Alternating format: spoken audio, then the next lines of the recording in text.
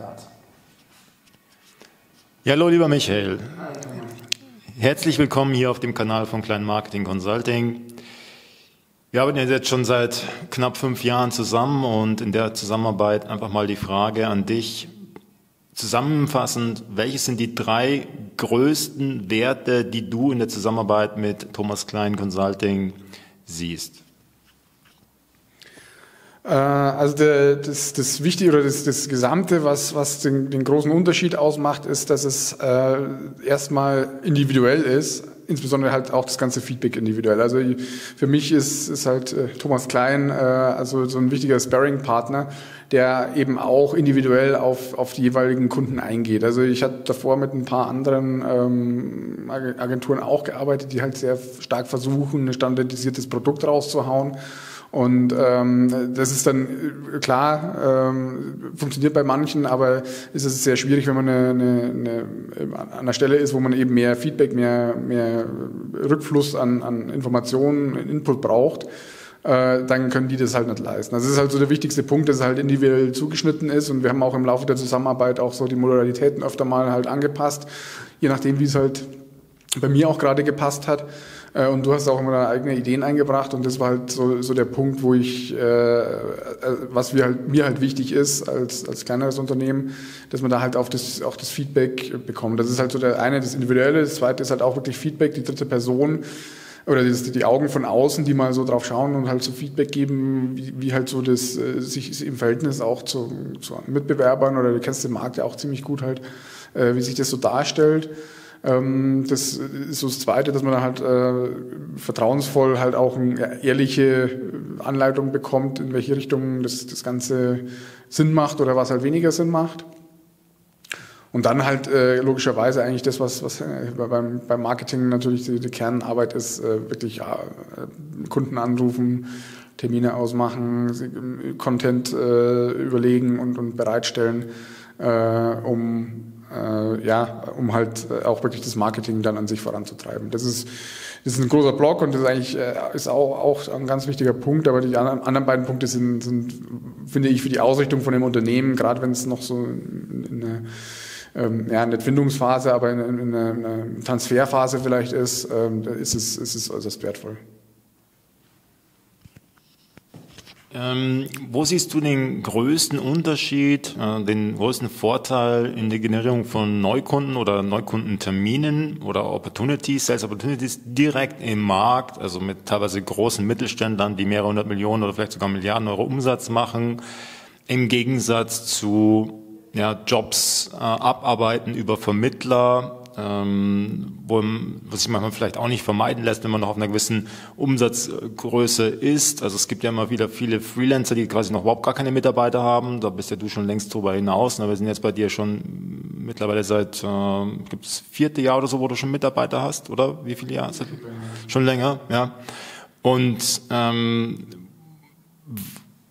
der Vorteil liegt letztendlich auf der Hand. Vielleicht kannst du da noch mal ein paar Worte dazu sagen. Und ähm, was für dich so die, der größte Mehrwert ist in der Zusammenarbeit, überhaupt mal in der Lage, sich zu befinden, überhaupt mal ein Sprachrohr zu besetzen, überhaupt mal diese Termine überhaupt generieren zu können in einem Umfeld, äh, wo er vielleicht jetzt auch nicht ganz so straightforward ist, wie jetzt zum Beispiel, wenn man äh, sich auf irgendwelche Standardprodukte äh, spezialisiert hat, ja, wo es ja letztendlich dann ähm, ja, ich, ich hole mir, sagen wir mal, von irgendeinem Channelpartner äh, oder Besitz, Zielgruppenbesitzpartner, ja, einfach die, die Liste von 17.000 Firmen, die alle irgendwie Microsoft äh, Navision im Einsatz haben oder sowas und ich und, und meine Firma baut halt da ein Add-on. Ja, dann habe ich zumindest schon mal äh, Firmen, die, wo ich schon mal, bevor ich überhaupt die angerufen habe, schon weiß, okay, die brauchen das sowieso. Oder im SAP-Bereich ist ja äh, teilweise Zwangs, ähm, wie soll ich sagen, äh, Produkte, die sozusagen zwangsverkauft äh, werden an den Kunden, ja, also mal ganz äh, banal gesagt. Ähm, das ist ja so eine individuelle Software eher weniger. Ähm, wo siehst du dann den größten Mehrwert in der Zusammenarbeit mit Thomas Klein, äh, Consulting, Marketing Consulting Services? Ähm, genau. Also für mich ein ganz wichtiger Punkt, das trifft wahrscheinlich nicht auf jeden zu. Also das ist, äh, das ist so ein individuelles Ding, aber da gibt es bestimmt auch welche andere, die das auch betrifft, ist also, ähm, dass ich meine Leistungen nicht als eine Commodity-Leistung ansehe. Mhm. das ist halt, wenn du, wenn du mit Vermittlern, Agenturen, die das in, in Massen halt machen, äh, an, an große Kunden äh, das standardmäßig raushauen. Die, da, also man sieht ja an den Ausschreibungen, da wird dann erstmal geschaut, äh, wie viele Jahre Erfahrung hat er da drin. Da ist äh, eigentlich platt gesagt äh, total egal, wie gut er da drin ist. Hauptsache er hat die, äh, er kann irgendwie Projekte nachweisen, die diese Jahre Erfahrung rechtfertigen. Ähm, da wird das Ganze sehr stark standardisiert und versucht über die Standardisierung halt da die Masse dann äh, durchzuknüpfen. Ja, äh, wie, wie du es nennen magst. Ähm, das mag für einen, für einen Entwickler, der jetzt als Freelancer sich äh, sagt, okay, ich bin jetzt, ich war früher Java, mache jetzt Kotlin, ähm, da bin ich zufrieden damit. Ähm, ich will meine grob mal 45 Stunden die Woche irgendwie, also, also 40 für den Kunden und dann noch fünf irgendwie äh, Organisationen oder sowas äh, arbeiten und ich bin damit eigentlich ganz happy. Äh, für den ist es eigentlich äh, gar kein so schlechtes Modell, weil wenn der da in diesem Commodity-Bereich die richtigen Parameter entsprechend hoch angesetzt hat, dann, dann schwimmt der da auch ganz gut oben auf. Ähm, für mich ist es ein bisschen, äh, ein bisschen anders ähm, und ich glaube, da gibt es auch viele, die äh, eben nicht in diesem Commodity-Bereich wollen. Da, da geht es dann eher so, ähm, ja, den, den, den Vollblut-Informatiker, den, den halt irgendwie komplett interessiert, äh, wie setze ich so ein System auf, der halt den zwei, drei Meter weiter denkt. Ähm, sowas kann ich nicht anhand von irgendwelchen Jahren Berufserfahrung in einer bestimmten Technologie runterbrechen. Ähm, ich kann es vielleicht noch so ein bisschen an der Projekterfahrung erkennen. Es ist sehr, sehr viel ähm, wirklich persönlich mit dem Kunden zu reden, das Vertrauen aufzubauen, ähm, mit, mit den Fachabteilungen auch zu reden, nicht nur mit den Einkaufsabteilungen, äh, weil die dann vielleicht verstehen, was man da eben bieten kann, ähm, wo da die Vorteile sind, dass man eben sie da abholt, wo sie stehen, mitdenkt auf der kompletten Strecke vom Projekt, äh, eigene Vorschläge einbringt und es eben nicht auf so einen, so einen diesen kleinen Radius, der eben mit dieser Commodity-Lösung äh, letztendlich ähm, limitiert ist, äh, dass man da eben über diesen Tellerrand schaut. Und dafür braucht man dann eben auch diese konkreten Termine mit den Kunden, ähm, auch Kunden, die vielleicht gar nicht mal an äh, Agenturen drangehen. Ähm, das, die sind eigentlich auch fast die spannenderen, weil die eben dann noch nicht so, äh, würde ich fast sagen, versaut sind ähm, von, von dem, was sie da halt so normalerweise vorgesetzt bekommen, sondern die halt auch wirklich noch so einen individuellen Bedarf haben und für die man auch dann eben so, ein, so ein, seine Leistung dann auch eben äh, entsprechend individuell auch gestalten kann. Nächste Frage. Es gibt ja ganz viele, also gab es einen extremen Hype, sagen wir mal, seit fünf, sechs, sieben Jahren, kam aus den USA, ne, also sogenannte Coaching- und Consulting-Programme. Ne, es gibt einige große, sind ja übrig geblieben, haben auch sehr gutes Geld verdient. Also teilweise, ja, ich habe mich ja quasi, meine Firma Coaching und Consulting Services, die ja tatsächlich so heißt, ja, es gibt es seit offiziell seit 2016. Davor habe ich auch schon, äh, war ich auch schon zugegen. Ja. Und komischerweise genau seit dem Zeitraum 2016, 17, 18 ähm, sind auch diese anderen komischen Firmen äh, alle entstanden, die auch teilweise sehr reich geworden sind. Aber das ist nicht immer ein Ausschlag geben.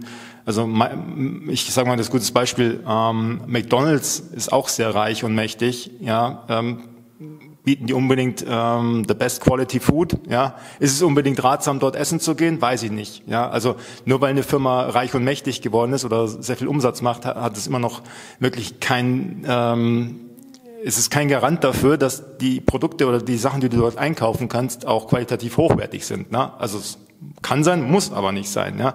weil die damit, weil ja viele damit werben, okay, ja, wir machen acht Schläge Umsätze im Jahr, ne? wir sind die Besten, die Nummer eins, Coaching und Consulting äh, Firmen und so weiter. Ähm, was aber da sehr, der, der, der Grund, einer der Grundbausteine, dass die überhaupt so äh, groß und so schnell gewachsen sind, ist halt die Skalierung einer Coaching-Dienstleistung über gro sogenannten Gruppen-Live-Calls. Das ist sozusagen eigentlich der, der essentielle Kern des Ganzen. Das sind Gruppen-Live-Calls. Das bedeutet im, im Klartext, wenn ich mich jetzt mit dir zusammen Kunde zusammensetze und ich gebe dem Coaching oder ich gebe dir Ratschläge oder gehen sogar gemeinsam in Kundentermine oder sogar vor Ort Besuch, habe ich alles schon gemacht, ähm, dann ist es mehr oder weniger sehr individuell. Ne? Also ich tausche quasi Zeit für Geld. Und die legen halt das Zeit für Geld tauschen ab, werden dadurch sehr schnell reich, aber alles hat seinen Preis. Der Preis dafür bezahlt jetzt nicht in meinen Augen, also ich möchte jetzt nichts vorwegnehmen, aber diejenigen, die das Programm sich dort einkaufen, und wir reden hier nicht nur vom billigen Programm, wir reden hier teilweise auch von Programmen, die fünfstellige Summen kosten und selbst das sind dann wieder auch wieder Live-Gruppencalls. Ne? Da sitzen dann quasi dann 20, manchmal 100 Leute drin, die jeweils 36.000 Euro oder teilweise 120.000 Euro äh, sogenannte Mastermind-Gebühren äh, sich eingekauft haben und vielleicht gibt es ja auch Vorteile, ja, aber einfach mal deine als Kunden, aus Kundensicht, ja, ähm, das sind ja theoretisch auch Programme, die du machen, genießen könntest, in Anführungsstrichen. Ja, also es sind ja, ich würde es nicht wirklich als Mitbewerber sehen, aber so Marktbegleiter in irgendeiner Art und Weise. Aber wo siehst du da jetzt mal wirklich ganz neutral, ungeachtet von dem, was ich sage, meine tue, äh, ja, dort äh, die Nach- oder Vorteile solcher Programme. Also du wirst jetzt quasi da drin sitzen als Hochkaräter Softwareentwickler in einem Gruppencall mit 20 anderen Softwareentwicklern, ja, mal angenommen, ich biete dir sowas auch an, ja, und dort äh, darf dann jeder Fragen stellen, Q&As und äh, gibt dann sozusagen seine Strategien zum Besten und etc. pp. Und ähm, wir arbeiten dann gemeinsam ähm, irgendwelche Marketingstrategien aus oder vertriebstechnische Tipps und so weiter. Und äh, du gibst dann Feedback aus den letzten Vertriebscalls und da sitzen dann weitere 20, 30, 40, 50, 100, 200 ähm, äh, weitere Softwareentwickler oder IT-Experten, you name it, ähm, die dann fleißig dort sich Notizen machen aufgrund deiner Erfahrungswerte. Und das Ganze wird auch noch aufgezeichnet, kommt, wird in einem Mitglieder, Mitgliederbereich hochgeladen. Ja, und dort haben dann letztendlich auch noch sämtliche weitere Mitglieder der nächsten fünf Jahre, äh, können sich das sozusagen die Aufzeichnung rückwirk rückwirkend auch noch anschauen. das ist eine massive Wissensdatenbank. Du wirst niemals erfahren, wer sich alles dann deine deine Aufzeichnungen anschaut, ne? also es sind ja nicht nur diejenigen, die du aktuell in diesem Call drin sind, wo du quasi sehen könntest, okay, die sind mir irgendwie alle sympathisch, ich hau hier mal irgendwie meine Erfahrungen raus, sondern es wird ja aufgezeichnet und dann schauen sich dann äh, weitere 100 oder 1000 Leute diese Aufzeichnungen eventuell an und profitieren davon, die du Leute, die du niemals irgendwie kennenlernen wirst. Ja, das kommt ja auch noch mit dazu. Davon profitiert natürlich immens dieses Coaching und Consulting Programm und deswegen einer der Hauptgründe. Meiner Meinung nach machen die dann auch achtstellige Summen mit Coaching, ja, also wo letztendlich dann irgendwie eine Firma, die vielleicht 20, 40 Mitarbeiter hat, 5000 Kunden hat, ja. Ähm, und ich sage das hier nicht aus Neid. Ich finde das cool. Ne? Die können, ich finde es halt nur ein bisschen schade, wenn die dann zum Beispiel Porsche und AMGs fahren, ja, und ähm, und gleichzeitig halt äh, sagen, okay, äh, wir müssen was gegen CO2 tun. Aber gut, vielleicht äh, war jetzt nur ein kleiner Schlenker. Ähm, aber wie siehst du da Vor- und Nachteile? Was würdest wo, du, wo würdest du da deinen Mehrwert sehen? Würdest du sowas überhaupt jemals in Erwägung ziehen? Wenn ich sowas anbieten würde, würdest du es sofort buchen? Wie stehst du da dazu? Ähm, also ich bin der Meinung, äh, du bist guter Marketing, ich bin guter Softwareentwickler. Ich konzentriere mich auf meine Stärken. Ich versuche äh, Softwareentwicklung gut hinzubekommen. Ich bin jetzt nicht unbedingt jemand, der, der, der sich dann ins, also ich versuche die Sachen, wo ich jetzt nicht so gut bin, die versuche ich auszulagern und dafür habe ich genau dich. Also da würde mir so ein Coaching nichts helfen, weil oder nicht wenig helfen erstmal im ersten Wurf, weil ich jetzt sage ich mal mich mit dem Marketing-Aspekt ähm, natürlich auseinandersetzen muss, aber das jetzt äh, nicht so zeitintensiv machen wollen würde, wie es dann wahrscheinlich wäre. Ähm, das ist der eine Punkt. Ähm, ich meine, du hast ja mehrere Sachen angesprochen. Das ist einmal Marketing, das ist dann diese ganze Skalierungsgeschichte, diese ganze Coaching-Sachen. Ähm, wie gesagt, was mir wichtig ist, ist halt äh, diese Individualität, die halt äh, in diesem Massencoachings wahrscheinlich eher schwierig abbildbar ist. Ähm, also da konkret auf das Problem einzugehen und den, das Unternehmen wirklich zu kennen, wie wir es, also wie du es jetzt bei mir tust, äh, wahrscheinlich. Äh, das, das werden, werden die da nicht so abbilden können. Noch als, als letzte Anmerkung, ähm, wenn ein, ein Softwareentwickler sich mit Skalierung schwer tut, dann sollte er nochmal irgendwie so den Grundkurs Datenstrukturen und Algorithmen sich anschauen, weil eigentlich Skalierung ist ja so die Grund, äh, Eigenschaft einer, einer Software, die sie eigentlich vertragen sollte. Also ähm, ich meine damit halt, dass das, das, das Grundmodell einer, in, der, in, der, in der Software, wenn ich die skalieren wollen würde, ich glaube, da, da würde ich gut klarkommen. Marketing würde ich auslagern. Genau, also das, äh, da wäre ich, also ich würde jetzt da nicht so den, den, den massiven Mehrwert sehen mit der Skalierung ist also eine Sache. Also wir haben für uns ganz klar auch den, den Fokus erst, also die, die Skalierung halt nur so weit äh, zu machen, wie wir wirklich überzeugt sind, dass es, ähm, dass es wachstumswert ist. Also ich möchte jetzt nicht unbedingt ähm, gleich eine Skalierung erreichen, äh, einfach der Skalierung willen, sondern es, es muss halt erstmal im, im Kleinen auch funktionieren, damit es überhaupt wert ist, skaliert zu werden. Also wenn ich jetzt schon x Probleme habe und ich verdoppel das, dann habe ich zweimal x Probleme und die werden auch nicht weniger mit der Skalierung, sondern sondern äh, die wachsen letztendlich mit. Und darum ist es mir eigentlich eher wichtig, ähm, sicherzustellen, dass wir eigentlich ohne größere Schwierigkeiten in der Größe unterwegs sind, in der wir sind. Ähm, da haben wir im Moment jetzt gerade wieder ein paar, paar Aufgabenstellungen. Wenn die durch sind, dann können wir uns wieder den nächsten Schritt vornehmen, äh, aber dann eben äh, mit, mit freiem Rücken und, und eben nicht in, in dem Zwang, jetzt irgendwie größer zu werden, weil wir den Umsatz brauchen, weil das funktioniert meiner Erfahrung nach äh, garantiert eigentlich nicht. Lass mich da nochmal einhaken, weil nochmal ganz konkret, mal angenommen, ich setze jetzt ein Programm auf mit Live-Calls. Habe ich mir schon häufig überlegt, ob das einen Mehrwert, also ich bin mir dafür, was zu machen, was wirklich einen Mehrwert bietet. Ja, alles andere ist eigentlich nicht von langer Dauer, es sei denn, ähm, man ist äh, McDonald's oder Coca-Cola. Ja? Also äh, die kriegen es auch hin, wenig Mehrwert zu bieten und, und, und den Markt zu beherrschen. Ja? Ähm, Mal angenommen, ich biete jetzt den Live-Call an und da sitzt jetzt, wir machen jetzt unseren, das ist letztendlich nichts anderes als wie unser Showfix. Ja, mal angenommen, Freitagnachmittag, eine Stunde und da sitzt aber jetzt nicht nur du drin, sondern noch 10, 20, let's go crazy, 50 weitere Kunden. Das sind Softwareentwickler, manche vielleicht komplett äh, Exoten, ja, irgend, machen irgendwie vielleicht noch Kobold oder was weiß ich, ja, oder irgendwelche Python-mathematischen Formeln oder was, was mit dir eher weniger zu tun hat, ja, obwohl du ja eigentlich irgendwie auch alles kannst, ja. Ähm, das ist ja auch wieder das, ne, wenn du, sobald du jemanden drin hast, der irgendwie alles könnte, weil er eben so super ist, na, dann ist ja letztendlich äh, da sowieso überall Überlappungen. Aber mal angenommen, da sitzen jetzt noch 20, 30 Leute drin. Würdest du und dort wird dann, dort werden genau die gleichen Dinge besprochen, die wir so auch besprechen. Oder Fragezeichen, ja.